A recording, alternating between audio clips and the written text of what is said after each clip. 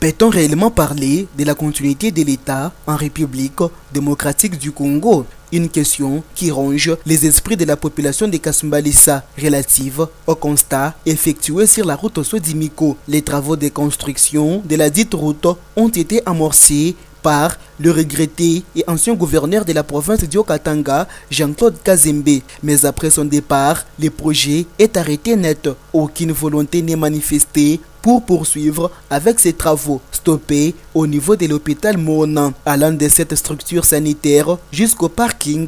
Toute cette bonne partie est rocailleuse, remplie de flaques d'eau ainsi que des nids de poules. Comme conséquence, rouler sur cet axe est un véritable dilemme qui rencontre les conducteurs, se réservant les droits d'apparaître à la caméra. Les chauffeurs qui travaillent sur ces tronçons déplorent l'état actuel qui présente la route Sodimiko. Chaque fois, ils sont victimes de crevaisons des pneus et de plusieurs autres pannes. Certains d'entre eux ont déjà pris la résolution de ne plus fréquenter cette voie.